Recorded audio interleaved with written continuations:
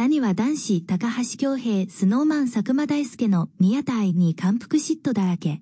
モデルプレス2023-090何は男子の高橋京平と西畑大吾が9日放送のグループの間レギュラーラジオ番組何は男子の初心ラジ。日本放送毎週土曜16時50分に出演。高橋がスノーマンの佐久間大介から嫉妬心を向けられていると明かした。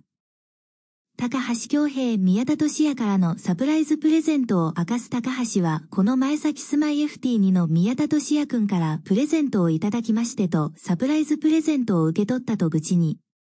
お高めのブランドの袋に入ったものを送られたが中身は予想外にも、希少で購入の難しいご当地のポケモンカードだったのだとか。